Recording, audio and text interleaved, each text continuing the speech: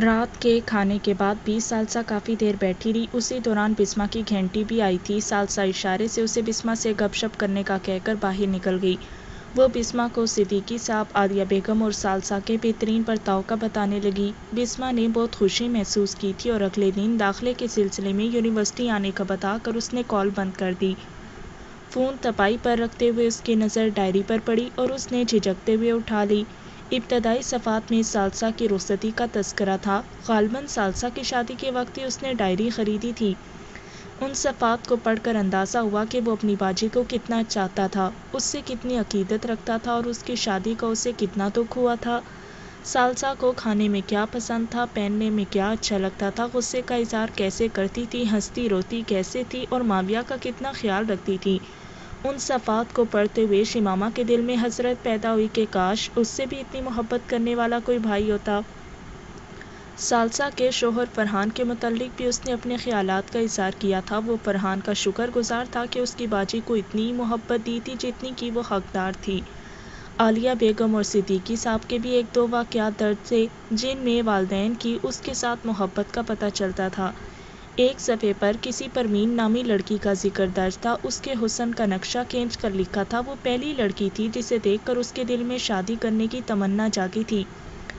दूसरे सफ़े पर दर्ज था कि परवीन के निकाह का पता चलते ही उस पर क्या गुजरी। मगर उसकी उदासी एक दो दिन के अंदर ख़त्म हो गई थी कि परवीन उसे पसंद आई थी। उससे इश्क नहीं हुआ था। आगे चंद लड़कियों का सरसरी सा तस्करा था। बज़ाहिर उसने उन्हें अपना दोस्त लिखा था। और ये फ़ख्र के माविया की दोस्ती को उन्होंने कितनी जल्दी से कबूल किया था। हर लड़की से कता ताल्लुक़ और नई लड़की से दोस्ती का उस ज़िक्र उसने ऐसे अंदाज में किया था जिसमें मज़ाक का पहलू निकलने के साथ अपनी अहमियत का एहसास भी कूट कूट कर भरा था। एक जगह लिखा था, समीना तो सती सावृत्ति निकली, मोहतरमा की सुई शादी पर ऐसे अटकी है गोया माविया गरीब को और कोई काम ही ना हो। खैर, जाने दें। कम अज़ कम सोनिया बेचारी की तमन्ना तो बावर हुई। जाने कब की माविया के लिए उतावली हो रही थी। सबा बीबी भी कितनी सादा है। रकम की वापसी का मुतालबा यूँ करी थी, गोया मैंने उधार लिया हो। वैसे माविया से दोस्ती करने वालियों को जब कंजूसी करते देखता हूँ तो बहुत दिल दुखता है। यकीन नहीं आता कोई लड़की इतनी नाशुक्री भी हो सकती है। खैर, कोई बात नहीं सबा बीबी। तो नहीं, और सही, और नहीं, और सही, माविया को कमी थोड़ी है चाहने वालियों की। शगुफ्ता ने आँखें माथे पर लगा ली लेकिन काले गाउन वाली को देखकर तसल्ली हो गई है कि शगुफ्ता को आईना दिखाने का वक्त आ गया है। शिमामा को मालूम हो गया था कि काले गाउन वाली से कौन मुराद है, वो संभल कर बैठ गई कि आगे उसी का तस्करा हो रहा था। किसी मुतरनम आवाज़ वाली बदसूरत को देखकर इंसान पर क्या गुजरती है? इसका तजर्बा पहली बार हो रहा है, मगर क्या करूँ कि उसकी मर्सिडीज़ और आलीशान कोटी को देखकर माँ बदौलत को कड़वा घूंट भरना पड़ेगा? अकील बेचारे के अंदाजे धरे के धरे रह गए। मौसूफ को शिमामा रानी दूसरों से अलग और अनोखी लग रही थी। बेवकूफ़ ये नहीं जानता माविया अली सदी की लड़कियों के लिए क्या कशिश रखता है। मैं सोच भी नहीं सकता था कि इतनी बड़ी हमाकत का इरतकब कर दूँगा। मौसूफ़ा एक ड्राइवर की बेटी है। दुर फिटे मुँह, खोदा पहाड़ और मरी हुई चूड़िया भी ना निकली। कमीनी की ज़रूरत देखो कि माविया पर हाथ उठाने की हिम्मत कर डाली। उसे मज़ा तो चकाता, मगर अहमक अकील आड़े आ गया। बहरहाल, उसे छोड़ूँगा तो नहीं। ये ने मोहतरमा को याद किया और पैगाम भी पहुँच गया। क्या शानदार बकवास की है। बाबा जान से माजरत कर लेना और मुझसे माफ़ी मांगने की कोई ज़रूरत नहीं। गोया मैं तो सुबह सवेरे मोहतरमा के पाँव पड़ने की तैयारी में हूँ। आज सीने में जलती आग पर कुछ पानी पड़ाए, पर शक्ल को मुँह छुपाने की जगह नहीं मिल रही थी। हकीकत तो यही है कि कुछ लोगों को देखकर खामखा गुस्सा आता है और उनमें एक शिमामा रानी भी है। वैसे मोहतरमा का नाम शम्मो नौकरानी होना चाहिए था। खैर, देखते हैं, गजाला क्या कर पाते इरादा तो यही है, मोहतरमा के बुरका की धजियाँ भी घेर दूँगा। अकील की बात मान लेना चाहिए थी। बहुत गलत हो गया, मुझे अंदाज़ा ही नहीं हुआ वो ऐसी होगी। बहरहाल, माफ़ी तो मैं नहीं मांग सकता, अलबत् उसे छेड़ूँगा नहीं, अपने हाल पर छोड़ दूँ। आगे पुलिस के हाथों गिरफ्तारी और अजियतें झीलने की लंबी तफसील दर्ज थी और उसके पसे पर्दा शिमामा की बदुआ का ज़िक्र था। साथ ही ये इतराफ़ कि उसे शिमामा रानी से मोहब्बत हो गई थी।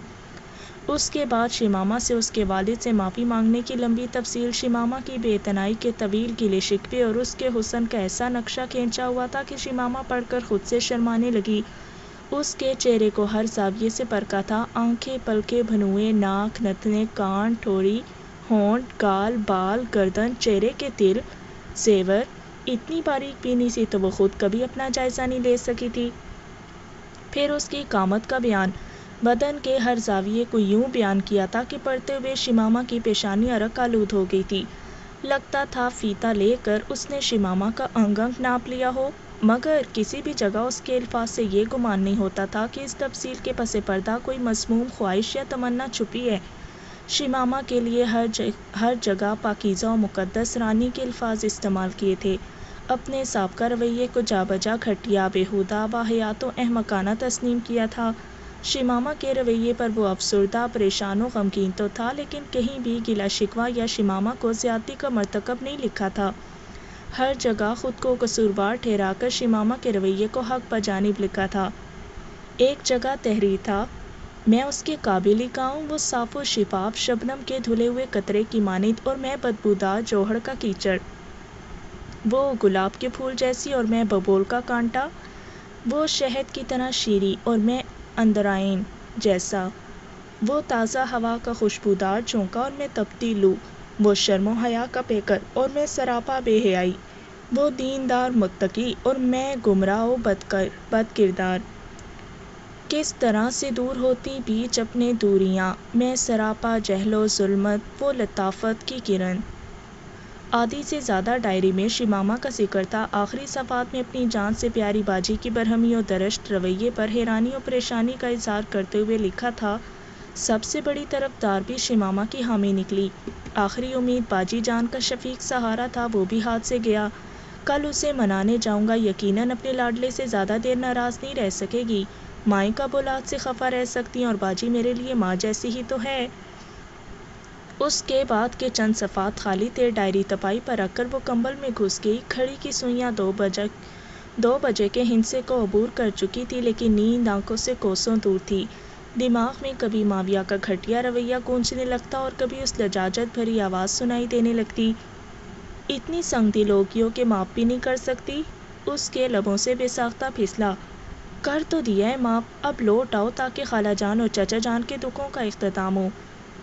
अगर मैं वापस लौटा तो यकीनन ये ख्वाब का एक पाकिज़ा मुक़दस वजूद के कुर्ब से महरूम हो जाएगी। इसलिए वापस नहीं आ सकता। अलबत् वादा करो कि यहीं रहोगी तो लौट आऊँगा। वो बुड़बुड़ाई, तुम्हें माफ़ कर दिया ये काफ़ी समझो, ज़्यादा की उम्मीद ना रखना। सालसा ने उसके साथ ड्राइवर भेजने के बजाय खुद जाना पसंद किया था। बिस्मा और अकील खुश अखलाक़ी और मोहब्बत के साथ सालसा से मिले थे। यूनिवर्सिटी आमतौर अब शुरू हुई मसरूफियत ने, जहाँ बाबा जाने की याद से दूरी के मौाक़े दिए वहीं अजियतनाक सोचों से भी इतमान बख्शा। बिस्मा की शोखी और शरारतें पहले से बढ़ गई थीं। शिमामा को लाने ले जाने की ज़िम्मेदारी तो एक बूढ़े ड्राइवर के सपुर्द हुई थी। अलबत् सहपहर के वक्त सालसा उसे ड्राइविंग सिखाने ले जाती। पहले पहल तो शिमामा को खुफ महसूस हुई और उसने सालसा को मना करना चाहा, मगर सालसा ने प्यार भरे लहजे में डांट पिला दी थी। मजबूरन उसे खामोश होना पड़ा। एक माह के अंदर वो ठीक ठाक ड्राइविंग करने लगी थी। सालसा ने उसके लाइसेंस के हसूल की दरख्वास्त भी जमा करा दी थी। वो घर में होती तो आलिया बेगम की दिल जोई में लगी रहती। शिमामा की आमद से उसे बहुत तकवीत मिली थी। रात को वो खुद उसके लिए दूध ले जाती और घंटा डेढ़ पास बैठ कर गपशप करती। इस दौरान कभी तो उसकी टांगें दबाना शुरू कर देती और कभी सर में तेल की मालिश कर देती। आलिया बेगम के लिए मबूस तरीन लड़की अब महबूब तरीन लड़की थी। सिद्दीकी साहब का रवैया सगे चचा से कम नहीं था। बेकहे और जितलाई उन, उसकी हर ख्वाहिश और तमन्ना पूरी की जाती थी, बल्कि तो से ज़्यादा पजीराई हो रही थी। घर वालों के साथ अजनबियत और परायापन तो इब्तदाई चंद दिनों ही में हवा हो गया था। माविया की ख्वाबका से वो इतनी ही मानूस हो गई थी जैसी अपनी ख्वाबका हो। बाबा जानू से बहुत दफ़ा ख्वाब में मिले थे। और उसकी खुशी में भरपूर खुश थे। कभी कभार माविया भी ख्वाब में दिखाई दे जाता। हर बार वो शिमामा का शुक्र गुजार और एहसानमंद नज़र आता, लेकिन उस दिन अजीब ख्वाब नज़र आया। वो बिस्तर पर लेटी थी के कानों में तलावत की आवाज़ पड़ी। कोई बहुत खूबसूरत और दिल सोज आवाज़ में सुर रहमान पड़ रहा था। इतनी प्यारी आवाज़ कि वो तड़प कर उठी और आवाज़ की सिमत खींचती चली गई, मगर कमरे से बाहर जाने पर उसे तलावत करने वाला नज़र नहीं आया। वो भाग कर दूसरी मंजिल पर पहुँची, मगर वहाँ भी कोई मौजूद नहीं। था अलबत् आवाज़ तवातर से आ रही थी। फ़बी ला रबिकुमा तुकज़िबान की तकरार सुनते हुए वो भागकर छत पर चढ़ी। सांस फूल रहा था, छत पर भी किसी को मौजूद न पाकर उसने कदम रोकते हुए आवाज़ के मकाम का तयन करने की कोशिश की। अब लग रहा था आवाज़ नीचे से आ रही है। वो सीढ़ियाँ उतरते हुए नीचे पहुँची, ड्राइंग में पहुँचते ही लगा, आवाज़ उसकी अपनी ख्वाबगा से बुलंद हो रही है। वो बेसब्री का मुशायरा करते हुए अंदर दाखिल हुई। अपने बेड पर अजनबी मर्द को देखते ही दिल खौफ से धड़कने लगा था। किबला रुख होने की वजह से उसकी दरवाजे की तरफ़ पीटती दिल सोज आवाज़ ने ज़्यादा देर खौफजदा नहीं रहने दिया था। मोहतात अंदाज में सिरकते हुए वो बेड की पाइंती से घूमकर उसे देखने को सामने होने लगी थी कि अचानक मोबाइल फ़ोन की घंटी ने उसे मतवजे किया। दिल सोज तलावत के मुकाबिल फ़ोन की टोन उसे नहायत कराह लगी थी। वो मोबाइल फ़ोन बंद करने तपाई की तरफ़ लपकी, तभी वो तलावत रोकते हुए उसकी जानी मुड़ा और एकदम आँख खुल गई। वो उसकी शक्ल नहीं देख पाई थी। मोबाइल फ़ोन का अलार्म तसलसल से बज रहा था और उसका दिल यूँ थक थक कर रहा था गोया सीने का पिंजरा तोड़कर बाहर आ गिरेगा। अलार्म बंद करके वो कई लम्हों तक बिस्तर नहीं छोड़ सकी। इतनी प्यारी तलावत उसने ज़िंदगी में पहली बार सुनी थी। नमाज़ पढ़कर वो खुद तलावत करने बैठी और बेख्तियार होकर सूर्य रहमान की तलावत करने लगी। वो दिलकशो, दिलसोस, लहजा अब तक समातों में गूंज रहा था। न जाने क्यों ऐसा लग रहा था कि वो आवाज़ पहले भी सुन चुकी है, मगर बहुत ज़्यादा सर खपाने पर भी उसे याद नहीं आया। उसके मोबाइल में सैकड़ों कारियों और कारियात की तलावतें महफूज थीं। दिन भर वो उस कारी की आवाज़ को खोजती रही। अपने पास मौजूद ज़ख़ीरा खिंगालने के बाद वो यूट्यूब पर सूर्य रहमान की तलावत के जेल तलावतों को खोजने लगी। सैकड़ों दिलकशों खुशकुन आवाज़ें सुनने के बाद भी उसकी तमन्ना बावर साबित नहीं हुई थी। हर आवाज़ की अपनी मिठास, अपनी चाशनी और अलहदा लज्जत थी। लेकिन जो तलावत सपने में सुनी थी, उस जैसी सरूर आवर, पुरसोज और मीठी आवाज़ किसी की भी नहीं लग रही थी। एक अनजानी, अनोखी और पुरकैफ कैफियत थी जिसने उसे शकंजे में जकड़ लिया था। अगले तीन, चार दिन वो उसी आवाज़ के जेर असर रही।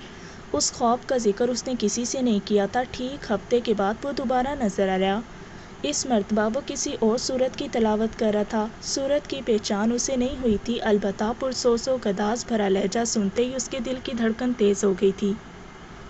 वो बेड ग्राउंड से टेक लगाए बैठी थी जब कभी अजनबी जाय नमाज़ पर पलती मारे बैठा था। शायद नमाज़ पढ़कर फारिग हुआ था और अब तलावत करते हुए उसका बालाई बदन एक तसलसल से हिल रहा था।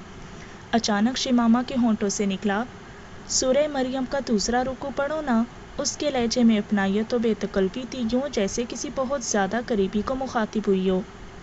सूर्य मरियम के दूसरे रुकू में सईदा मरियम अलैहिस्सलाम का वाक़ बयान हुआ है?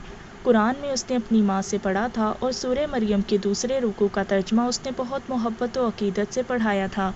माँ के जाने के बाद भी उसने उतनी दफ़ा वो रुकू पढ़ा था कि ज़ुबानी याद हो गया था। बहुत सी कारियों की ज़ुबानी भी उस रुकू की तलावत सुन चुकी थी। इसी वजह से सपने में भी अपनी पसंद के इजहार में होंठों से सुर मरियम ही अदा हुआ था। उसने मुड़े बगैर नफ़ी में सर हिलाया और तलावत करता रहा। आपसे बात ही नहीं करती। लाड भरी नाराज़गी से कहकर उसने पीठ मोड़ ली थी। एकदम तलावत की आवाज़ रुकी और उसे अपने गालों पर ठंडे हाथ का लम्स महसूस हुआ। उसने गर्दन मोड़ी और एकदम आँख खुल गई। न जाने कितनी देर वो सपने के जेर असरी गालों पर ठंडे हाथों का लम्स सब तक महसूस हो रहा था। उसकी ज़रा सी खुबकी भी वो बर्दाश्त नहीं कर सका था। पाँच दिन बाद उसे दोबारा तलावत करता नज़र आया। इस मरतबा वो बेड पर बैठा था और शिमामा अकब में यूँ तकिए पर सर रख कर लेटी थी कि हाथ उसकी कमर से लिपट कर पेट पे जकड़ रहे थे।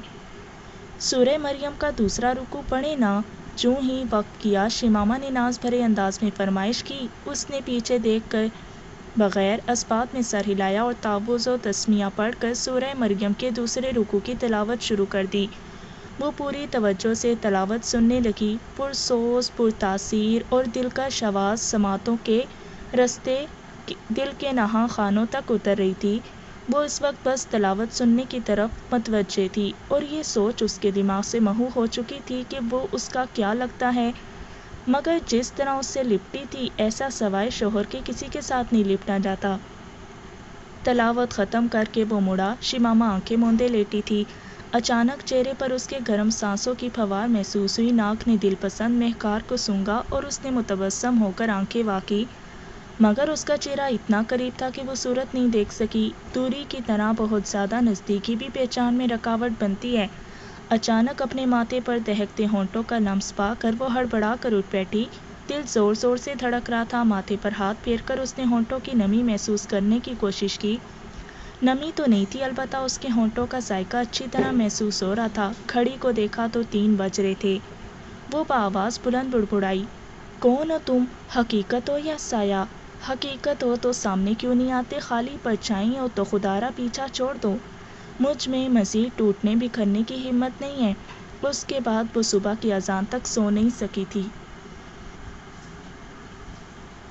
उसका ड्राइविंग लाइसेंस तैयार हो गया था। उससे अगली सुबह सवेरे ही सालसा उसे अपने घर ले गई थी। इतवार थी। शिमामा पहली मरतबा उसके घर गई थी। चाय वगैरह से तवाज़ो करके वो उसे साथ दिए गैराज में पहुँची। सुर्ख रंग की कीमती स्पोर्ट्स कार देखते ही शिमामा चौंक गई थी। माविया की कार को पहचानने में ज़रा भी देर नहीं लगी थी।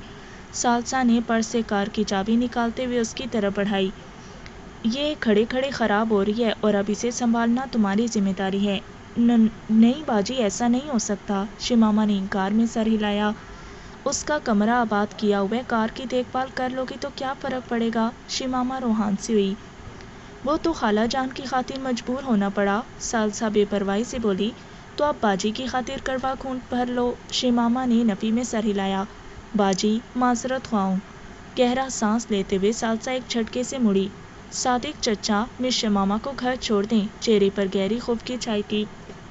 बाजी प्लीज़ शिमामा ने भागकर उसका हाथ पकड़ा। सालसा पलटी, आँखों में तैरती नमी वाजे नज़र आ रही थी। भराई हुई आवाज़ में बोली शिमामा वो मेरा भाई है, तुम्हें अंदाज़ा नहीं है, मुझे कितना अज़ीज़ और प्यारा है। मानती हूँ, ज़्यादती की है, तस्लीम करती हूँ, उसका सलूक नहायत बेहुदा और गलत था। ये भी पता है, तुम्हें सख्त अजियत पहुँची, मगर उसने माफ़ी भी तो मांग ली थी। तुमसे भी, चचा जान से भी, अकेले में भी और भरी क्लास के सामने भी। चचा जान ने उसे माफ़ कर दिया था, तुमने भी माफ़ कर दिया, फिर इस कदर नफ़रत का क्या मतलब? तुम्हें उससे शादी करने पर कोई मजबूर नहीं करा, मगर एक बहन की छोटी सी ख्वाहिश पूरी करना तुम पर गिरा गुजर रहा है तो ठीक है, जाओ। मेरा तुम पर ज़ोर है और ना कोई हक। माफ़ कर दो बाजी, शिमामा से सकते हुए लिपट की मेरा मकसद आपकी दिल आज़ारी नहीं था, बस इतनी कीमती कार के काबिल ख़ुद को नहीं समझ रही थी और और पहले भी आप लोगों के इतने एहसान हैं जिनके बार तले रोज़ पर रोज़ दबती चली जा रही हूँ। एक मुफलिस लड़की को चादर देकर पाँव पिलाना चाहिए। जानती हो माविया की वजह से हमारा पूरा कुंबा पेशानी पशेमानी और एहसास नदामत का शिकार है। तमाम को एहसास जुर्म से निजात की एक ही सूरत नज़र आ रही है कि उससे खुश करें, उसकी देखभाल करें जो माविया को प्यारी और अज़ीज़ है। यकीनन खुद गर्जी है कि तुम्हारे नाज नखरे उठाने के पसे पर्दा माविया को खुश करने का जज्बा कार फरमा है। लेकिन उससे तुम्हारा कोई नुकसान तो नहीं हो रहा ना? पापा ने चचा यूसुफ से जो वादा किया था कि उनके बाद किसी अच्छी जगह तुम्हारा रिश्ता करेंगे, शादी का खर्च उठाएँगे और शादी होने तक तुम्हारी देखभाल करेंगे। अगर हम उससे कुछ ज़्यादा करना चाहें तो तुम्हारा इतराज़ करना नहीं बनता और तुम्हें नादिम भी नहीं होना चाहिए कि हम एहसान नहीं करें। इसमें हमारी गर्ज भी पोशीदा है। तुम्हारी वजह से अम्मी जान काफ़ी हद तक संभल गई हैं। वरना पहले तो दीवानों की सी हरकतें करने लगी थी। इसी तरह ये कार भी तुम्हारे हवाले करने की कोई वजह है? शिमामा उदासी से बोली, जानती हूँ बाजी, मगर ये पता नहीं कि मेरे इस कार को इस्तेमाल करने में क्या हिकमत है। सब जानते हैं वो खफा होकर और अपनी मर्ज़ी से हमें छोड़कर गया है। हो सकता है किसी दिन तुम्हें अपनी कार में देख ली और यकीनन अपनी कार पहचानते हुए उससे दिक्कत नहीं होगी। और तुम्हें इस कार में देखकर वो वापसी में एक लम्हा भी नहीं लगाएगा, क्योंकि तुम उसे अपनी सालसाबाजी से भी ज़्यादा प्यारी हो।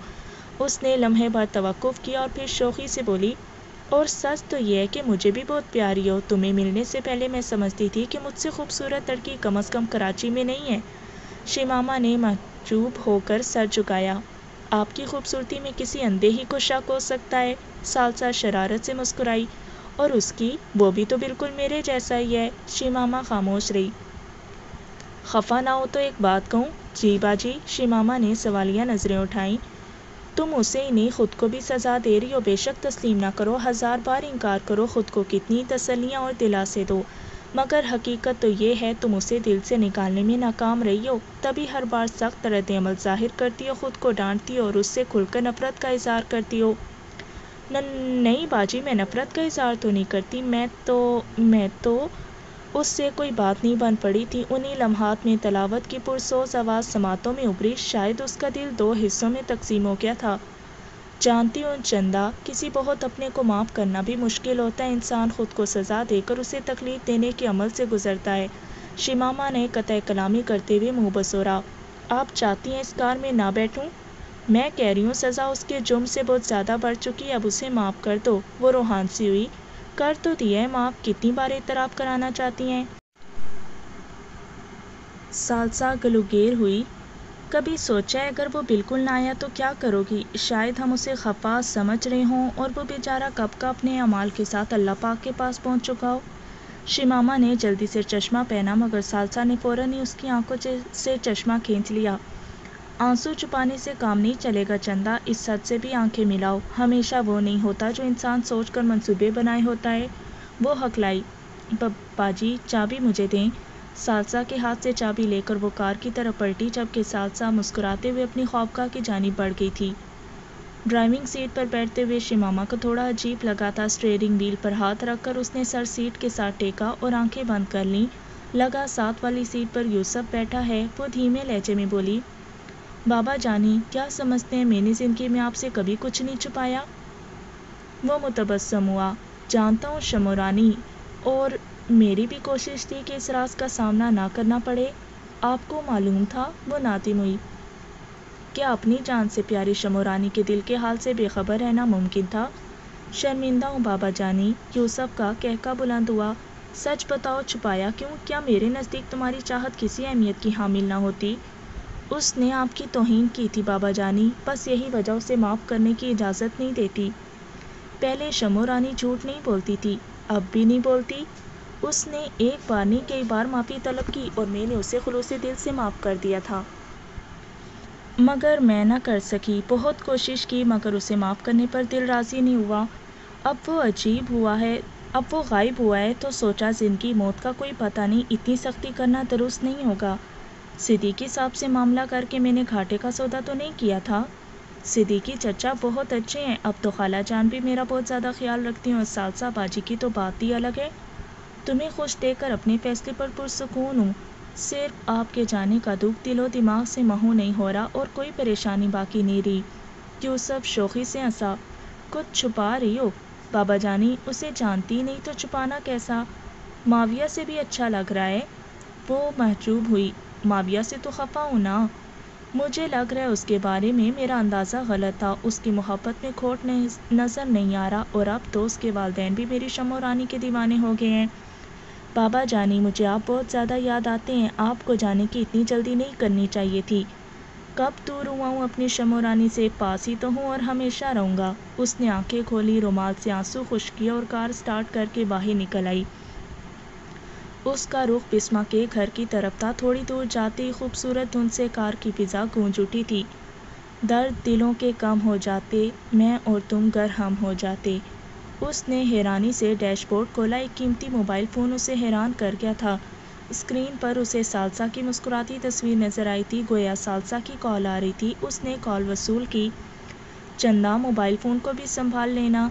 क्यों उसकी तमाम अशिया को संभालने की ज़िम्मेदारी कुदरत ने तुम्हारे हवाले कर दी है?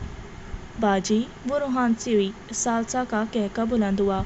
सच कह रही हूँ, उसकी माँ बाप बाजी ख्वाब का गाड़ी को संभाल रही हो तो मोबाइल फ़ोन बेचारे का क्या कसूर है? उसने धमकी दी। अब के झगड़ा हो जाना है, सालसा चाहत से बोली। अल्लाह पाक चचा यूसुफ के दर्जात बुलंद फरमाए, उसने तुम्हें झगड़ा करना तो सिखाया ही नहीं है। शिमामा मोतरस हुई। सबसे ज़्यादा उन्हीं से झगड़ती थी, सालसा संजीदा हुई। एक हकीकत बतलाऊँ इस तबसार की ज़रूरत गैरों में पेश आती है। अगर सोचती हो माविया के आने के बाद जान छुड़ा लोगी तो ये खुशफहमी जहन से निकाल दो। वो महजूब हुई। बाजी ड्राइविंग कर रही हूँ और जान छुड़ाते हुए रबता मुनक़ कर दिया। न जाने क्यों अब माविया के ज़िक्र के साथ ही एक अजनबी कारी की शुबिया भी आँखों में लहराने लगी थी। बिस्मा को कॉल करने को उसने बटन दबाया और मोबाइल पासवर्ड मांगने लगा। उसने शमो रानी लिखा जो मोबाइल फ़ोन ने फ़ौरन कबूल कर लिया था। उसके लैपटॉप पर भी यही पासवर्ड लगा था, तभी उसे तगोदो नहीं करना पड़ी थी। माविया भाई बिस्मा की हकलाती आवाज़ ने उसे महसूस किया था। वो इतमान से बोली, जी नहीं शमो गरीब बोल रही है, भूल गई। वो मोबाइल फ़ोन सादसाबाजी के घर छोड़ गया था। क्या शमो रानी को इतवार को भी आराम नहीं आता? खुजालत छुपाते हुए उसने ज़ोरदार जमाई ली। अब तक बिस्तर में हो, शिमामा हैरत से चीख पड़ी थी। बारह बज रहे कम वक्त तो बिस्मा फाड़ खाने को दौड़ी। सुई भी तो सुबह की नमाज़ पढ़ के थी। क्यों? शिमामा की हैरानी सवा हुई। बिस्मा बरहमी से बोली, अपने भाई से पूछो, दिमाग ख़राब कर दिए कमीने ने। शिमामा हँसी। बेहतर होगा कि तुम ही फूट दो, वो दांत पीसते हुए बोली। उससे नींद नहीं आ रही थी, लोरी सुनता रहा है बिस्मा लतीफ़ से। बेशरम तुम खेंटी बंद कर देती, पीठ पीछे गुस्सा दिखाने का क्या फ़ायदा? पीठ पीछे गुस्सा दिखाती और सामने हो तो पटाई से भी बाज नहीं आती। शिमामा ने मतोन किया। डेंगे मारने के बजाय ये बताओ, उसे खरी खरी सुनाकर खेंटी बंद क्यों नहीं करती? बिस्मा तिल मिलाई। खफा हो जाता है कमीना, और मैं शमोरानी के अलावा किसी को मनाने को मिन्नतें नहीं कर सकती शिमामा का कहका बुलंद हुआ। अजीब मंतक है उसकी खातिर रात भर जाकर गप्पे भी हाँकती और गुस्सा भी होती हो, बिस्मा मुसमसे लहजे में बोली। उसकी खातिर जागती है मेरी जूती मेरा अपना दिल सैर नहीं हो रहा था। कम वक्ती बातों से इतनी मीठी मीठी चापलूसी भरी बातें। मेरे हुसन की तारीफ़, खूबियों का इतराफ़, मेरी पसंद नापसंद का ज़िक्र, साथ निभाने के वादे, मेरी खातिर जान देने की कस्में और डांट खाकर मिन्नतों की बारिश रूटने की धमकी पर हकीकी वावेला, अल्लाह रसूल के वास्ते। तुम ही बताओ क्या करती? शिमामा बिगड़ कर बोली तुम सा बेशर्मो बेहया शायद ही कोई हो मजनूम लड़का हाथ चढ़ गया बेचारे को कठपुतली बनाया हुआ है। ए, दोबारा मेरे अकील को कठपुतली? कहा तो मुझसे बुरा कोई नहीं होगा। तुम्हारे घर के सामने पहुँचने वाली हूँ दस मिनट में तैयार होकर निकल आओ। बाकी बकवास किसी होटल में बैठकर सुन लूँगी। बिस्मा ने बोखलाते हुए पूछा, क्या? क्यों? फजूल सवालों से गुरेज करो। शिमामा ने रबता मुनकते करके मोबाइल फ़ोन डैशबोर्ड में रख दिया था। बिस्मा के स्टॉप से उसने कार गली में मोड़ी। चंद मकान छोड़कर बिस्मा का घर था हॉर्न बजाकर उसने दोबारा माविया का मोबाइल उठा लिया। वॉलपेपर पर शिमामा की तस्वीर लगी थी, बल्कि पूरा मोबाइल फ़ोन उसकी तस्वीर से भरा था। अपनी नकाब में छुपी तस्वीर देखकर उसके लबों पर धीमी मुस्कुराहट दौड़ गई थी। माविया के पास उसके चेहरे की सिर्फ़ वो तस्वीर थी जो उसने वीडियो से स्क्रीनशॉट्स लेकर बनाई थी। क्लासरूम की काफ़ी वीडियोस बनी थी, ख़ासकर जब शिमामा ने क्लास प्रोफेसर से कोई सवाल पूछा था या बिस्मा से गपशप की थी, उसे शायद क्लासरूम में उसके अलावा कोई काम नहीं होता था। दरवाजे पर दस्तक सुनकर वह चौंक गई थी। बिस्मा शस्त्र से खिड़की का शीशा बजा रही थी। उसने दरवाज़ा गैर मकफिल किया। ये कार तो माविया की है, शिमामा ने इतमान से फ़िक्रा मुकम्मल किया। बिस्मा भुनाते हुए बोली मुझे तो छोटी छोटी बातों पर मतौन करती हो अपने फाल पर भी नज़र कर लिया करो, वो इतमान से बोली। सालसा बाजी ने मजबूर किया है कि कार फजूल खड़ी ख़राब हो रही है और अगर मैं उसके माँ बाप बाजी, ख्वाब का लैपटॉप को संभाल रही हूँ तो कार और मोबाइल फ़ोन का क्या कसूर है? बिस्मा ने मुँह बनाया। और शम्मा रानी को तो सिर्फ़ बहाना चाहिए था। तो बेनियाजी से कंधे उचकाते हुए उसने कार आगे बढ़ा दी। तो ये कि फजूल किस्म की मुकालमाबाजी, नकली गैरत और माविया से नफ़रत के ड्रामे कम अज़ कम मेरे सामने तो ना किया करो। शिमामा उसे मलामत भरी नज़रों से घूरते हुए बोली, ईमानदारी से बताओ, आज तक तुम्हारे सामने कभी कहा हो कि मैं माविया से नफ़रत करती हूँ? क्या बिस्मा हैरत से चीखी? तुम कहती थी कि उसे नफ़रत के काबिल भी नहीं समझती। कुछ लोग ऐसे होते हैं जो नफ़रत के काबिल भी नहीं रहते। और क्लासरूम का वाक़ भूल गए जो चीख चीख कर दहाइयाँ दे रही थी। शिमामा मुस्कुराई। क्लासरूम में बर रास्त माविया को कहा था अलबत्ता तुम्हारे सामने हमेशा यही कहा है कि उसे नफ़रत के लायक नहीं समझती। अब भी इस पर कायम हूँ। बिस्मा ने दांत पीसे। नफ़रत के काबिल भी नहीं समझती का मतलब है? वो इस काबिल भी नहीं कि उससे नफ़रत की जाए कुजा मोहब्बत? हाँ ना, शिमामा ने शरारती कहकर बुलंद किया। वो वाकई ऐसा नहीं है कि उससे नफ़रत की जाए। बिस्मा बिगड़ी। सर फाड़ दूँगी तुम्हारा। बेशी मेरी जान गुस्सा थूको तुम्हें नहीं पता क्यों ऐसा कर रही हूँ? गुस्सा इसलिए हूँ कि ये इतराफ़ मेरे सामने क्यों नहीं किया? शिमामा ने मुतबसम होकर वजाहत दी। यार, तुम्हें तंग कर रही हूँ। और यकीन मानो मेरा इनकार सुनकर सालसा बाजी इतनी सख्त नाराज़ हो गई थी कि बता नहीं सकती। उनका मानना है, अगर मैं इस कार में मुसलसल घूमूं तो मुमकिन है कभी माविया की नज़र पड़ जाए और अपनी कार में मुझे देखते ही वो लौटने की करेगा। बिस्मा ने मुशगाफ़ी की। उसके घर वालों ने जिस तरह तुम्हें सर आँखों पर बिठाया हुए लगता है, उसका वापस ना आना ही फ़ायदेमंद रहेगा। शिमामा सरद से बोली, पागल तो नहीं हुई? अल्लाह पाक ना करे ऐसा हो। मेरा मतलब उसके बूढ़े वालदेन के दुखों का ही सोच लो। लगता है उसे सच्चे दिल से माफ़ कर चुकी हो। होटल की पार्किंग में कार रोककर वो नीचे उतर आई थी। फैमिली कैबिन का रुख करते हुए वो साफ़ कोई से बोली, दुआ करती हूँ कि जल्द लौट आए ताकि आलिया खाला सिद्दीकी चचा और सालसा बाजी को उनकी खुशियाँ वापस मिल जाएँ। बाकी सिद्दीकी चचा ने वादा किया, उसके लौटने पर मुझे किसी बेहतरीन हॉस्टल में दाखिल करवा देंगे और अगर चाहूँ तो अलहदा अपार्टमेंट ले देंगे। सच तो ये है कि तुम बहुत अच्छी हो नशीद संभालते हुए बिस्मा ने खुले दिल से एतराफ़ किया। शिमामा ने कहका लगाया, कितनी भी चापलूसी कर लो, बिल मैं नहीं देने वाली। क्या? बिस्मा ने आँखें निकाली। यहाँ लाया कौन है? शिमामा ने बेनियाजी ज़ाहिर की। तो लाने का मतलब गपशप करना है ना कि तुम्हारा पेट भरना। ठीक है, फिर पानी पीकर लौटती हैं कि मेरे पास तो चाय की प्याली के भी पैसे नहीं हैं। शिमामा इतमान से बोली, चाय मैं पिला देती हूँ। उसी वक्त बेरा हुक्म लेने अंदर आया।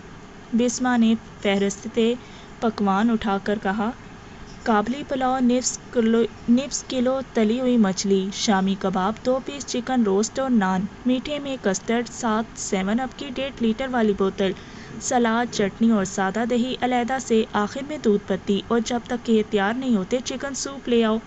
जी मादाम बैरा सर झुकाकर मुड़ गया। शीमामा खिलखिलाई। कुछ रह तो नहीं गया? बिस्मा ने दांत निकाले। मुश्किल से तो मिसिस सेठ मावियाली से देखी फंसी है। एक मुश्किल में फंसी हूँ। शिमामा संजीदा हो गई थी। खैरियत, बिस्मा के खुलंडरे चेहरे पर परेशानी दर आई। शिमामा के चेहरे पर फीकी मुस्कुराहट नमोदारी। परेशान होने की ज़रूरत नहीं है। कुछ फूटो भी बिस्मा उसकी तसल्ली से मुतमिन नहीं हुई थी। शिमामा उसे अपने ख्वाब सुनाने लगी, आखिर में कह रही थी, समझ में नहीं आ रहा मेरा दिल उस कारी की तरफ़ क्यों खिंचा जा रहा है? ये पहली मरतबा है कि माविया के मुकाबिल कोई ऐसा लगा है जिसे मैं ज़िंदगी का साथी चुन सकूँ। वो इतना अपना लगता है कि बता नहीं सकती, कोई ऐसा जिसकी तलाश में कब से भटक रही थी मैंने अल्लाह पाक से हमेशा ऐसा शरीक हयात मांगा, जो दीनदार मतकी और हदायत याफ्ता हो, और वो ऐसा ही लगता है। उसका मेरे ख्वाब का, में बेतकल्फ़ी से इबादत करना ज़ाहिर करता है, वो मेरा सब कुछ है, या शायद मुझे उसे अपनाने की हदायत की जा रही है। शायद मुझे अपनी दुआओं की ताबीर दिखाई जा रही है।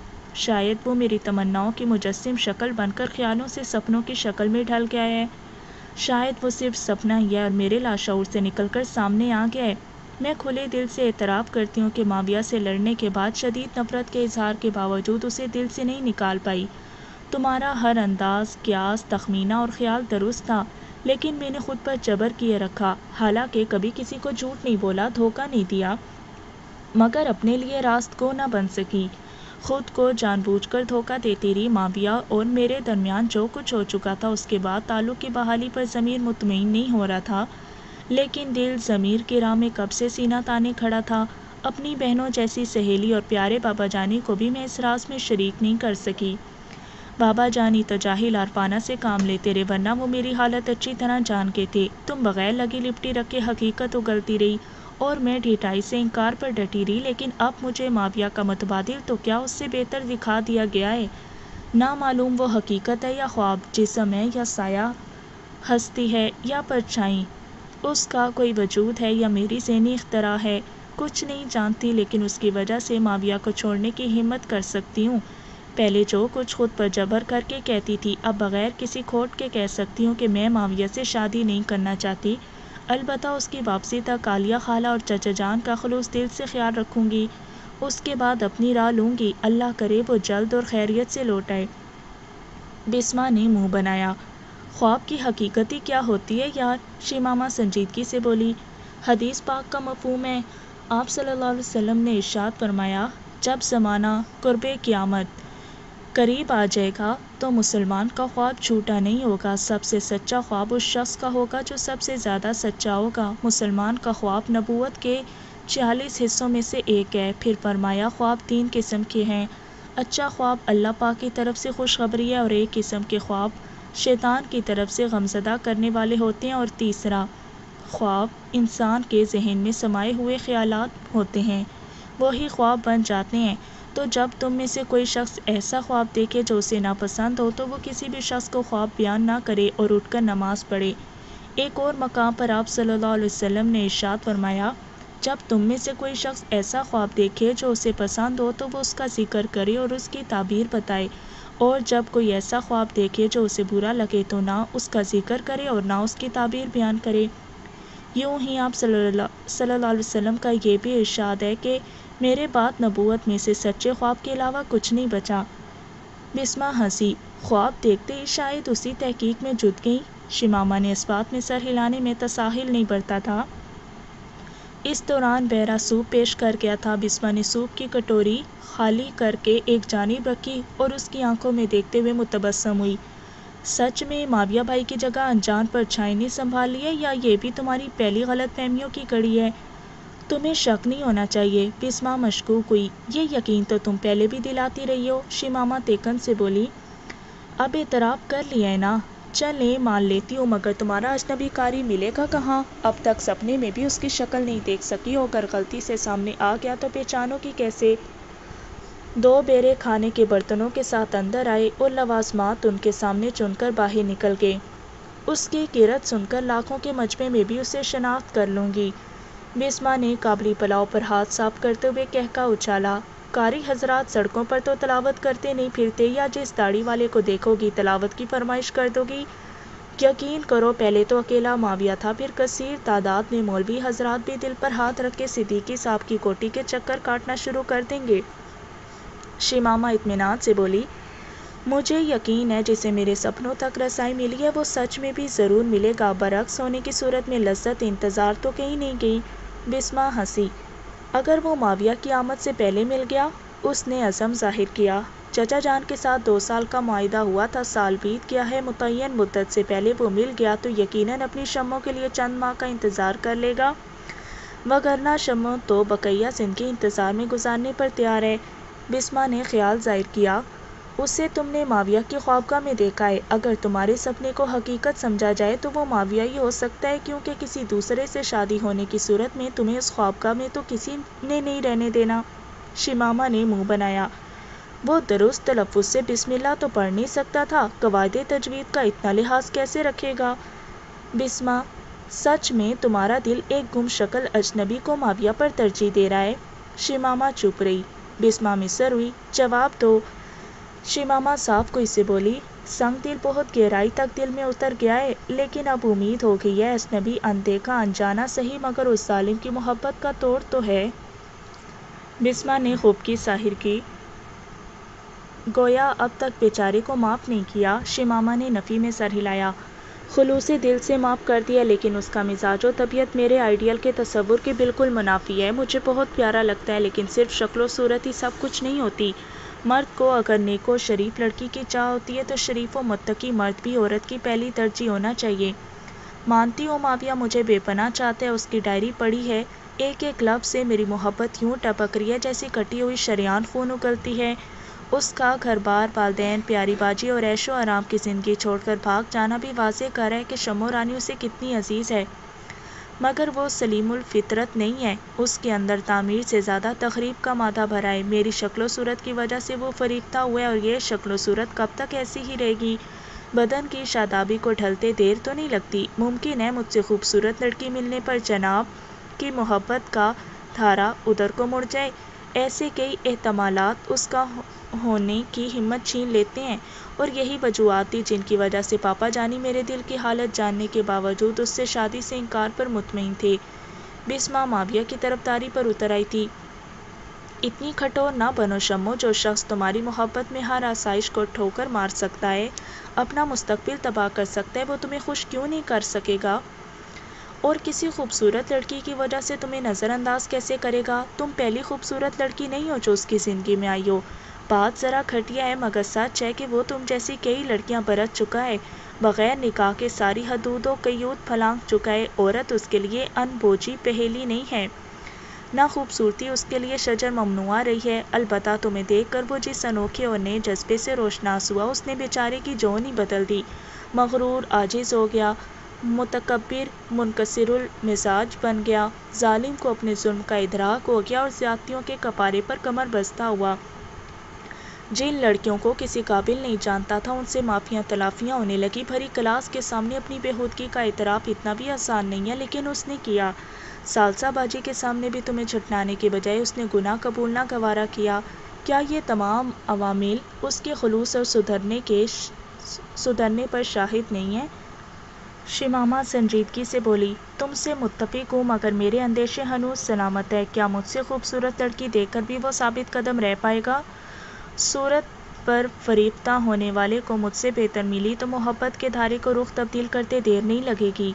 बिस्मा कोई से बोली, खूबसूरती का कोई ऐसा मैार मुकर नहीं जिसके बलबूते पर दो खूबसूरत लड़कियों में एक को दूसरी पर तरजीह दी जा सके। जैसे फलों में सेब को नाशपाती पर, अनार को अंगूर पर, आम को खजूर पर, आड़ू को ख्वाबानी पर फोकियत देने वाले के पास फ़कत अपनी पसंद और तबीयत की दलील होती है। यूँ ही किसी मोहब्बत में मुबतला ले दे के दिल की हालत बतौर हजत पेश कर सकता है। लैला मजनू, ससी पन्नू, ही रांझा सोनी महवाल वगैरह के किस्से कुरान हदीस व शरीयत से मुतसादिम सही। उनकी सेहत में अभाम सही, लेकिन उनकी कदर मुश्तरक से इनकार मुमकिन नहीं कि मोहब्बत को शक्ल सूरत, हसब व नस्ब और मुफलसी तो नकरी वगैरह की एहतियाज नहीं होती। यकीनन, मेरी खूबसूरती तुम्हारे अशर रशीर भी नहीं है। लेकिन मेरे अकील से पूछो कि उसकी बिशी कितनी प्यारी और मोनी है। उसी तरह माविया, कितना ही वजी और पुरकशिश क्यों ना हो, मेरे लिए अकील के मुकाबले में कोई हैसियत नहीं रखता। याद करो, तुम्हें बेनकाब सिर्फ़ माविया ने नहीं देखा, क्लास में और भी दर्जनों लड़के मौजूद थे। क्या किसी एक ने भी तुम्हारी तरफ़ पेशकदमी की या तुम्हारे घर रिश्ता भेजा? नहीं ना, क्योंकि तुम्हारी सूरत हर एक के लिए आइडियल नहीं हो सकती। तुम अकेली खूबसूरत हो ना अनोखी कि तुम जैसी पाकिस्तान में ना पैद हो। किसी हवस परस्त को तुम्हारे खदोखाल आरजी लज्जत का सामान मुहैया कर सकते हैं। वो दीवाना होकर तुम्हारे पीछे मारा मारा नहीं फिर सकता। अलबत् मोहब्बत करने वाले को शख्सियत से गर्ज होती है और शख्सियत का इतलाक़ रूह बदन के मजमू पर होता है। सिर्फ़ तुम्हारे हसूल किसी तो जिसमानी ताल्लुक़ की गर्ज होती है तो एक सेठजादे के पास कई ओछे हथकंडे हो सकते हैं। लड़कियों के अगवा और इस्तेसाल के कई वाक़ात तक तुम्हारी समातों को भी रसाई हो चुकी होगी। मगर वो ऐसा नहीं था तो मैं चाहता था, तभी तो खुद पर जबर करता रहा और जायज़ कोशिशों में नाकामी के बाद रास्ते से हट गया। शिमामा ने उलझन ज़ाहिर की, अगर चुनाव मिले और मेरे पास दो इख्तियार हों तो लाजमन तरजीह उसी को देना चाहिए जिससे दुख ना पहुँचाओ, जिससे गिले शिकवे ना हो, जिसकी वजह से मेरी अना खुददारी पर जीतना पड़ती हो। बिस्मा ने नफ़ी में सर हिलाया। बल्कि जो तुम्हें ज़्यादा चाहता हो, शिमामा गोंगो की कैफियत में बोली हो सकता है, अनदेखा। नबी मुझे बहुत ज़्यादा तवज्जो, प्यार दे, तभी सपने में उसके लिए बहुत ज़्यादा वारफ्तगी और चाहत महसूस करती हूँ। बिल्कुल ऐसी ही चाहत और एहतराम जैसा बाबा जानी के लिए महसूस होता है। बस फ़र्क ये है कि बाबा जानी की चाहत में अकीदत की फरावानी है और उस अजनबी की चाहत में एहतराम के साथ ऐसे जज्बे भी पोशीदा हैं जो महरम रिश्तों में नहीं पेश, में पेश नहीं आते। बिस्मा हँसी, क्या माविया के लिए ऐसा कुछ महसूस नहीं होता? शिमामा बरहम हुई। जब जानती हो तो पूछने का मतलब? बिस्मा ने ताना कसा। उस अजनबी से मोहब्बत व अकीदत सपने के जेर असर है, बल्कि उसका वजूद ही मोहम है और माविया की मोहब्बत मुसद्दक और उसका वजूद शुबे से बाला तर है। फिर दोनों के बीच तकाबुल कैसा? शिमामा हटीले लहजे में बोली, मुझे बस वो अजनबी चाहिए। अल्लाह से मांगो। मुँह बनाते हुए बिस्मा टूशी। टिश्यू पेपर से हाथ साफ़ करने लगी। वो तेकन से बोली मांग चुकी और यकीन है कमज़ोरों बेकस बंदी की मनाजात रायगा नहीं जाएगी। ख्वाबों का सिलसिला तसलसल से जारी रहा और अब तो वो उन ख्वाबों की इतनी आदि हो गई थी कि चंद दिन उसे ख्वाब में ना देखती तो सख्त बेचैन हो जाती थी। बिस्मा से उसकी पैसों तकरार लगी रहती थी। बिस्मा माविया की सच्ची तरफदार थी। ज़िंदगी लगी बंदी डगर पर चल रही थी। आलिया बेगम और सिद्दीकी साहब के लिए अब वो बेटी जैसी थी। घर का एक ऐसा फ़र्द जिसकी कमी शिद्दत से महसूस की जाए। मुलाजमों के होने के बावजूद उन दोनों के ज़्यादातर काम शिमामा ने अपने ज़िम्मे लिए हुए थे। अगर वो बेटी का दर्जा देते थे तो शिमामा ने उन्हें वालदेन का मकाम दिया हुआ था। सालसा भी उसे बहुत चाहती थी। वो सही मानों में बड़ी बहन की तरह थी। वक्त अपनी मखसूस रफ्तार से आगे से रखता रहता है। सुबह और शाम की तब्दीली हिसाब मुकर से जारी रहती है। बज़ाहिर चंद घंटे बिताना मुश्किल होते हैं, लेकिन जब इंसान पीछे नज़र घुमाए तो सालों के गुजरने का पता नहीं चलता। वो यूनिवर्सिटी से फारग तहसील हो गई, मगर माविया को कोई अता पता ना चला। डिग्री के हसूल के बाद उसे अपना मुस्तकबिल संवारने का शौक़ हुआ। उस घर में बग़ैर किसी मज़बूत खोंटे के उसका क्या मुस्तकिल नहीं हो सकता था? मुँह बोले, रिश्तों में कितनी ही मोहब्बत व अकीदत क्यों ना छुपी हो, होता बहुत नाजुक है। ज़रा सी गलती से इंसान अर्श से फर्श पर आन गिरता है वो भी अपनी हैसियत से अच्छी तरह का थी। गो सिद्दीकी साहब ने उसका अच्छा खासा जेब खर्च मुकर किया हुआ था, जो उसके अकाउंट में बग़ैर ताख़ीर के हर यकम को जमा हो जाता था। सालसा भी हर माह डेढ़ बाद उसे ज़बरदस्ती शॉपिंग करवा लाती। इस उम्र में आलिया बेगम भी कमी नहीं छोड़ती थी। लेकिन इसके बावजूद वो ख़ुद को कटी पतंग जैसा तस्वुर करती। सालसा और आलिया के साथ ख़रीदारी करते हुए वो हमेशा महजूब, नादम और खफीफ सा महसूस करती। घर के माहौल से मानूस होने के बावजूद अजनबियत का पोशीदा एहसास हर आन दिल में जा गुजर रहता। माविया की ख्वाब का होटल के उस कमरे की मानद लगती जहाँ बहालत मजबूरी, तवील क्याम करना पड़ गया हो। उसकी कार भाड़े पर हासिल की हुई टैक्सी लगती जो कितनी भी आरामदेह हो, उस पर मलकियत नहीं जिताई जा सकती। अच्छी नौकरी के हसूल के बाद वो इन मुश्किल से नबरत आजमा हो सकती थी। अपने पैरों पर खड़े होने के बाद वो किसी की मोहताज ना रहती, उसके फैसले डर, खौफ और हिचकिचाहट से आज़ाद हो जाते। आगे का लाहे अमल तय करने के बाद वो सिद्दीकी साहब से गुफ्तु पर तैयार हो गई। अशाइए यानी डिनर के बाद आलिया बेगम ने ख्वाबगाह का रुख किया। सिद्दीकी साहब उनकी तकलीफ़ में उठने लगा था कि वो धीमे लहजे में बोली चाचा जान आपसे काम था। उसे पुरख्याल नज़रों से घूरते हुए सिद्दीकी साहब के चेहरे पर फीका तबस्सुम उभरा। जानता हूँ बेटी, बहरहाल तुम कमरे में जाओ, मैं चहलकदमी करके आता हूँ। शिमामा ने इस्बात में सर हिलाया। जब तक मैं खाला जान की टांगें दबा देती हूँ। सिद्दीकी साहब खिलखिलाया। हाँ इसके बगैर तो नेक वक्त को नींद भी नहीं आती। उस दिन बता रही थी, शमो रानी उसे सालसा से भी ज़्यादा प्यारी लगती है। शिमामा ने मुँह बसोरा। आपको प्यारी नहीं लगती? सिद्दीकी साहब मायनी खेज लहजे में बोला, सालसा के साथ तकाबुल करूँ तो झूठ बोलना पड़ेगा। आपसे बात ही नहीं करती। वो बनावटी खूबकी ज़ाहिर करते हुए उनकी ख्वाबका की तरफ़ बढ़ गई। दस पंद्रह मिनट उसने आलिया के सर की मालिश की और फिर टांगे दबाने बैठ गई। उससे गप्पे करते हुए आलिया बेगम के सांस भारी होने लगे। वो मोहतात अंदाज में बेड से उतरकर अपने कमरे की तरफ़ बढ़ गई। सिद्दीकी साहब ड्राइंग रूम में खबरें देख रहे थे। उसने बावर्ची खाने में घुसकर दो मग कॉफ़ी बनाई। कि सिद्दीकी साहब इस वक्त कॉफ़ी पीना पसंद करते थे। कॉफ़ी सामने रखकर वो साथ ही बैठ गई थी। शुक्रिया बेटी, मग उठा कर उसने टीवी की आवाज़ आहिस्ता कर दी शिमामा तमहीद बांधने को दिमाग में मुनासिब अल्फाज तरतीब देने लगी। मगर कुछ कहने से पहले सिद्दीकी साहब की आवाज़ उभरी। बेटी, जानता हूँ हमारा मुआदा दो साल का हुआ था और अब गालबन माँ डेढ़ ऊपर भी हो चुका है। यूसुफ भाई से मैंने वादा किया था कि तुम्हारी पसंद के मुताबिक रिश्ता तय करूँगा। यकीनन अपने रिश्ते की बात करते हुए तुम्हें झिझक होगी, हिजाब भी आएगा और आना भी चाहिए। तुम जैसी बाहया और शर्मीली बच्चियाँ बड़ों के सामने ये इतराफ़ नहीं किया करती। वादे के मुताबिक मुझे चंद हफ़्ते पहले ही तुमसे पूछ लेना चाहिए था। माजरत ख्वाहों के ऐसा नहीं कर सका। अलबत् तुम्हारी ज़िम्मेदारी से गाफिल नहीं था। पाँच छः लड़के मैंने देख रखे हैं, उनकी तस्वीर भी मेरे मोबाइल में महफूज हैं। सिद्दीकी साहब अपना कीमती मोबाइल फ़ोन निकाल कर मस्कूरा लड़कों की तस्वीर खोजने लगे साथ साथ गुफ्तु जारी रही। ये अच्छे खाते पीते घरानों के लड़के हैं। इनमें से दो ऐसे हैं जो मेरे मैार पर पूरा उतरते हैं। मैं इनके बारे में पूरी तफसील बताऊँगा। तुम अच्छी तरह अपनी तसल्ली करना, उसके बाद ही बात आगे बढ़ाऊँगा। और फ़िक्र ना करना, तुम्हें सालसा की तरह रुख्सत करूँगा। और शादी के बाद भी इस घर से तुम्हारा रिश्ता इतना ही मज़बूत रहेगा जैसे सालसा का है। सिद्दीकी साहब ने मोबाइल फ़ोन उसकी तरफ़ बढ़ाया। ये देखो, इसका नाम गजनफर हयात है। दो बहनों का अकलौता भाई है, दोनों बहनें शादीशुदा हैं शिमामा ने मोबाइल फ़ोन की तरफ़ हाथ बढ़ाए बगैर लाड भरी बरहमी से कहा गालबन मैं आपको अपना मसला बताने आई थी। सिद्दीकी साहब शफकत से हंसे। वो सुन लेता हूँ, तुम तस्वीर तो देखो। अब के लड़ाई हो जाना है। शिमामा ने मोबाइल लेकर बगैर बगैर देखे मेज़ पर रख दिया। अच्छा तुम अपनी सुनाओ। सिद्दीकी साहब ने सोफे से टेक लगा ली, उसके लहजे में तमानियत तो सुकून दर आया था। शिमामा हिचकिचाते हुए बोली, नौकरी करना चाहती हूँ। क्या? सिद्दीकी साहब सीधे होकर बैठ के शिमामा को अंदाज़ा नहीं हुआ कि उसके इस्तफसार में बरहमी थी या हैरत। वो तो कप कपा कर नीचे देखने लगी। चुप क्यों होगी हो लगा सिद्दीकी साहब के लहजे में दरश्ती नहीं है। चचा जान वो हकलाते हुए वजाहत देने लगी थी कि सिद्दीकी साहब कतः कलामी करते हुए बोले, चचा की जान मना किसने किया है? मैं तो कब का किसी अच्छे मावन का मुंतजर था। सालसा दूर भागती है, माविया गायब है, बस तुम्हारा ही आसरा रह गया था। लेकिन कहा नहीं कि तुम ना चाहते हुए भी इनकार ना करती। शुक्रिया चचा जान बहुत बहुत शुक्रिया। पुरमसरत लहजे में चीखते हुए वो खिसक कर करीब हुई और उसके कंधे पर सर रख दिया। सिद्दीकी साहब ने उसके सर पर शफकत से हाथ फेरा। सुबह तैयार रहना और अपनी खाला जान को खुद ही संभाल लेना। शिमामा ने मुँह बसोरा तो आपकी मिन्नत काहे को की है? अगर उन्हें अच्छा ना लगा तो डांटेंगी।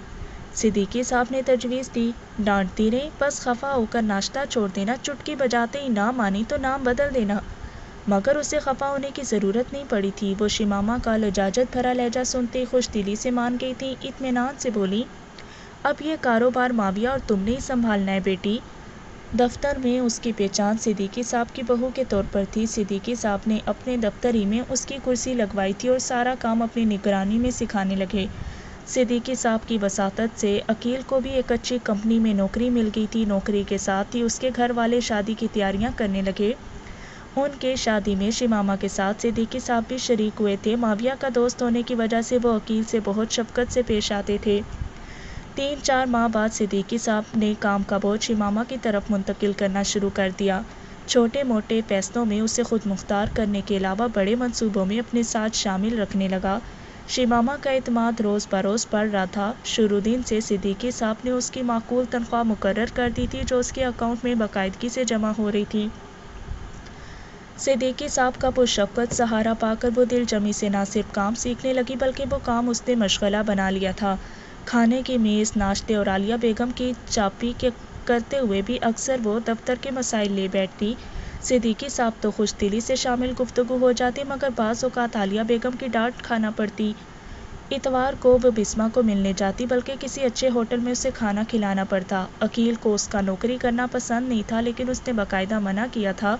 और फैसला बिस्मा की सवाब दीद पर छोड़ दिया था। हर वक्त उसे डांटने और छिड़कने पर तैयार बिस्मा उसकी मर्ज़ी के खिलाफ कुछ करने का सोच भी नहीं सकती थी। वो वफा, शुआर और साथ निभाने वाली शरीक हयात थी। अपनी मर्ज़ी वहाँ तक चलाती जहाँ तक शोहर के बदकने का खौफ ना होता।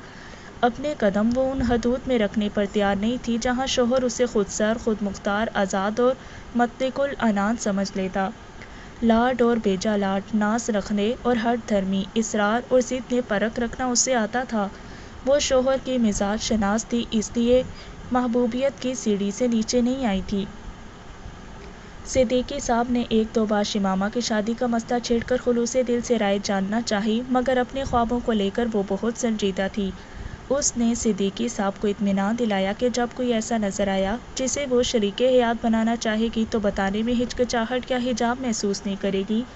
एक अनदेखी परछाएँ का इंतज़ार करते हुए वो दूरी की कसक, जुदाई की चुबन और हिजर की कुड़न को इतना ही महसूस करती जितना जीते जागते शोहर से बिछड़ने वाली वफाशुआर बीवी करती है।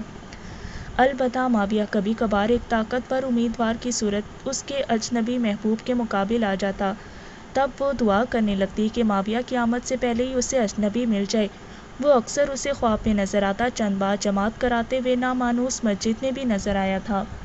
दो तीन बार उसे अजान देते भी सुना सब्जार कोटी की छत यहाँ तक कि अपने दफ्तर में भी देख चुकी थी। उन ख्वाबों में उसका तलावत करना और शिमामा की जानी पीट किए होना मुश्तरक था। तभी वो उसे अजनबी कहती थी और फिर एक रोज़ वो अजनबी अनजान नहीं रहा। मंजर ख्वाबगा का था। वो खुशुलहानी से सुर मरियम की तलावत कर रहा था। उसे मुसलसल ख्वाबों में देखने की वजह से अब शिमामा भी कुरान की ज़्यादातर सूरतों को पहचानने लगी थी।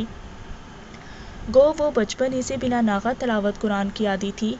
मगर नाजरा पढ़ने वाले को सूरतों की पहचान कम ही होती है। वो ख्वाब में उसे जिस सूरत की तलावत करते सुनती, जागते ही उस सूरत को ढूंढ कर उसी के अंदाज में पढ़ने की कोशिश करती, वो उसकी ज़ुबानी सूर मरियम पहले भी कई बार सुन चुकी थी। बल्कि ख्वाब में उससे हमेशा सूर मरियम सुनने ही की ख्वाहिश करती थी। जो ही सईदा मरियम के तस्करे की आयात अख्ताम पजीर हुई, वो बेसाख्ता पुकारी। आप दोबारा हज़रत मरियम वाला रुकू पढ़े ना, उसके लहजे में लाड भरा तहकम था। वो पीछे देखते हुए मुतबसम हुआ, यकीनन तुम्हारा फरमाइश करना मुझे निहाल कर देता है? वो सपने में पहली बार उससे मुखातिब हुआ था और पहली ही मरतबा वो उसका मुकम्मल चेहरा देख पाई थी। दिल इतने ज़ोर से धड़का जैसे उछलकर हलक से बाहर आ गिरेगा। आँखें बाही और वो उठ बैठी नज़रें उस जगह पर गड़ी थी जहाँ जाए नमाज़ बिछाकर वो मसरूफ़ तलावत था। दिल की धड़कनें अब तक बेकाबू थी और उसे यकीन नहीं आ रहा था कि वो अजनबी इतना देखा बाला होगा। खड़ी रात के तीन बजा रही थी, मगर उससे सब्र नहीं हुआ। बिस्मा का नंबर मिलाकर उसने मोबाइल फ़ोन कान से लगा लिया। दो तीन घंटियों के बाद उसकी परेशानी भरी खुमार आलूद आवाज़ सुनाई दी। शमो खैर तो है? वो पुरजोश लहजे में शुरू होगी। मैंने उसका चेहरा देख लिया है। मुझे वो दिखाई दे गया है। जानती हो वो कौन है? बिस्मा बेजारी से बोली, किसका चेहरा देख लिया है बेवकूफ़? और ये कौन सा वक्त है ऐसी बातों का? वो उसकी बेजारी को खातिर में लाए बगैर बोली, मुझसे सुबह का इंतज़ार नहीं हो रहा था। अभी अभी वो ख्वाब में नज़र आया। मुझे मुखातिब किया और बता नहीं सकती उसकी आवाज़ में कितनी चाहत, मोहब्बत और बारफ्तगी उबल रही थी। पता है वो कौन है?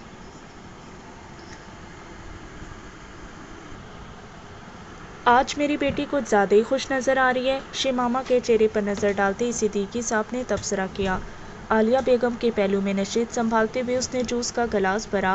एमडी साहब की कॉल आई थी। सुल्तान खावर साहब की मांग पूरी कर दी है। आज पहली खेप रवाना कर दी जाएगी। खालवन, इस बारे में तुम डिनर पर भी मत्ता कर चुकी हो और ये इतना अहम मामला भी नहीं है कि सुबह सवेरे छेड़ा जाए।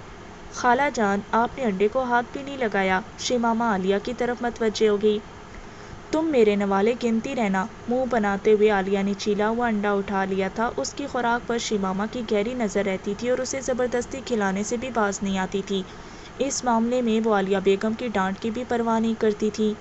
सिद्दीकी साहब ने उसे छेड़ा। सच तो ये है कि शमो रानी राज रखने में कभी कामयाब नहीं हो पाई। बेचारी फ़ौरन ही पकड़ी जाती है। आपको खुश अच्छी नहीं लगती? शिमामा नाराज़ होने पर तुल गई थी। सिद्दीकी साहब ने कहका उछाला। झगड़ा उठाना तो कोई शमो रानी से सीखे। आलिया ने लुकमा दिया। सेठ साहब, आप मेरी बहू को तंग कर रहे हैं। उसने आलिया के बाजू से चिपकते हुए दहाई दी।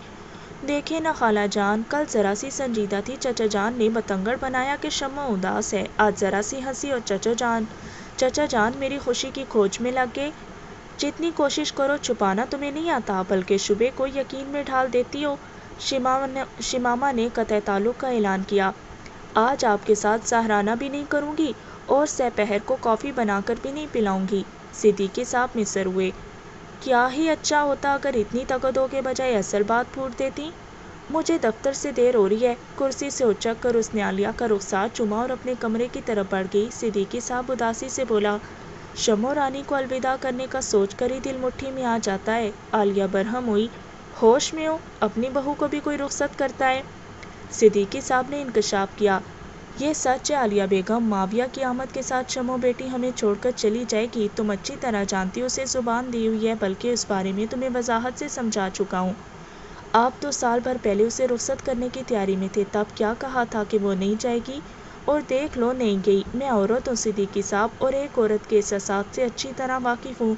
वो माविया को चाहती है, बाकी मैं नहीं मानती। वो अपनी खाला जान की कोई ख्वाहिश ठुकरा भी सकती है। सिद्दीकी साहब ने ठंडा सांस भरा। दुआ करता हूँ ऐसा ही हो। शिमामा को तैयारी हालत में खौफगाह से बरामद होता देखकर वो ललकारने वाले अंदाज में बोली, मैं आपका शक दूर कर सकती हूँ। रहने दो। सिद्दीकी साहब ने बदमजगी से बचना चाहा, मगर आलिया बेगम जोश में आते हुए शिमामा को मुखातिब हुई। बहू, इधर आओ। जी खाला, मुदबाना लहजे में कहते हुए वो करीब हुई। आलिया ने बगैर लगी लिपटी रखे पूछा, मेरे बेटे से शादी करोगी या उसकी आमद पर हमें छोड़कर चली जाओगी? शिमामा ने कुर्सी के पीछे खड़े होकर उसके गले में बाहें डाली। शमो रानी, कब से इतनी बड़ी होगी? जो आपकी मौजूदगी में खुद फैसले लेने लगे, सुन लिया। आलिया ने फखरी अंदाज में सिद्दीकी साहब को मुखातिब किया। शिमामा बेटी, हमें झूठी तसल्ली नहीं चाहिए, सिद्दीकी साहब संजीदा हो गए थे। चचा जान, आप जानते हैं शमो झूठ नहीं बोलती, मुझे खाला जानी का हर फैसला दिलो जान से मंजूर है। इत्मीनान भरे लहजे में कहते हुए उसने आलिया बेगम के रुखसार से अपना गाल मिलाया और बैग उठाकर चल दी।